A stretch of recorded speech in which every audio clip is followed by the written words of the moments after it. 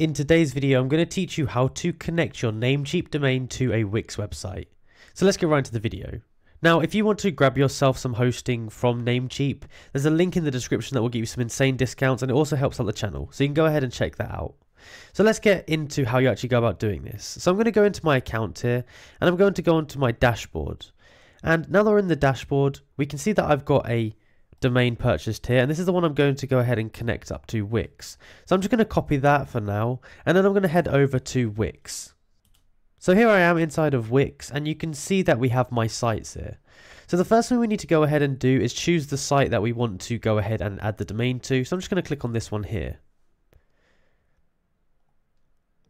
Now, once we've gone ahead and done that, we want to go to the left hand side. It might show up here, but if not, go to the left hand side and go down to where it says settings.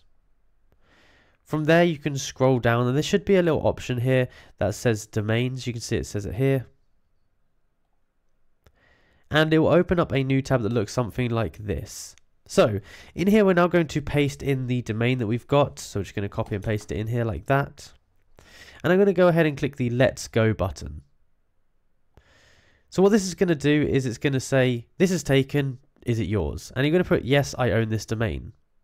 Now, to actually go ahead and do this, you're going to have to upgrade your Wix plan and you're going to have to upgrade it to one of the paid plans to actually connect a third party domain. And these are the various plans you can use starting at £7.50 a month. So what we would do from here if we actually paid for this is we would press a button that says login and what it's going to do is going to ask us to log into our provider which is Namecheap to then go ahead and connect this domain up. So what we have to do from here is we have to go back to our Namecheap and then we have to go over to the domain here and we're going to have to change some of the domain settings. So if we go to domain list, find our domain and we can click manage and from manage we can go down to where it says name servers. So here we're going to have to change the, these name servers into the ones from Wix. So to go ahead and do this we want to go down to where it says custom DNS and there might be some here that already exist. If there are, you have to delete them. And now we want to go ahead and put in the Wix name servers. So these here are the Wix name servers that you need to add in. Now on the tab here, or this one, sorry, it might tell you um, some different name servers that you have to add in. But I'm just going to use these for the example. So I'm going to copy this and I'm going to paste this into here. And then I'm going to copy the other one and I'm also going to paste that below that. Like that. So now we can go ahead and press the tick icon here, and that's going to save our name servers. This basically will point your domain towards Wix, which means that it will connect up.